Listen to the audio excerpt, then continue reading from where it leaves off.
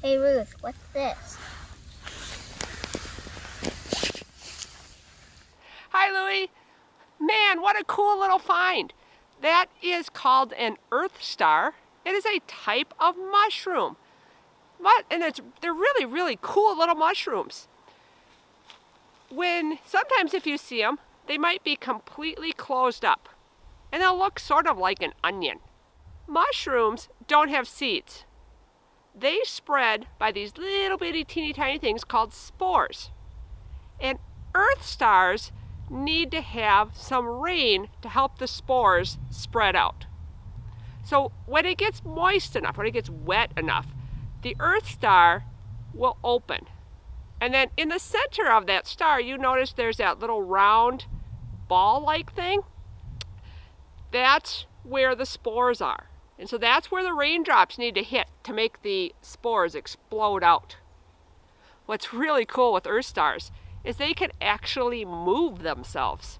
So if it's down on the forest floor and there's leaves and stuff in the way, when the rains come and it gets wet enough, the star opens with such force that that little ball in the middle gets raised up above the leaves. Now if it gets dry again, that star will reclose and protect the spores. Once all the spores are gone, then they stay open all the time. Earth stars can be found typically in wooded areas, and most species of earth stars like soil that doesn't have a lot of nutrients in it. So that tends to be sandy soil. So I wonder when you were walking through the woods that day if you were in an area that was kind of sandy. But what a fantastic find.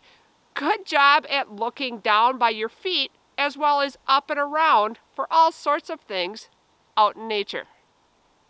Keep looking and send me more stuff. Talk to you later. Hi, my name is Ruth. I'm one of the naturalists here at Beaver Creek Reserve, and I'd like to invite you to send short videos of things that you found. If you're out exploring somewhere and you have your phone, go ahead and shoot a video. Ask me what it is.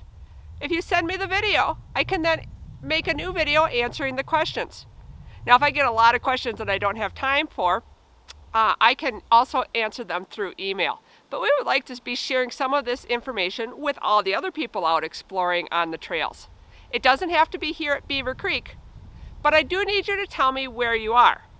Because things that can be found in Texas or California would be different than things I'm familiar with here in Wisconsin. And so it would help me a little bit to maybe help you figure out what something is if I know where you're at. You can send those videos to bcr at beavercreekreserve.org. So keep exploring, and if you find something you're not sure of, shoot a little video of it and send it to me. I'll see if I can help.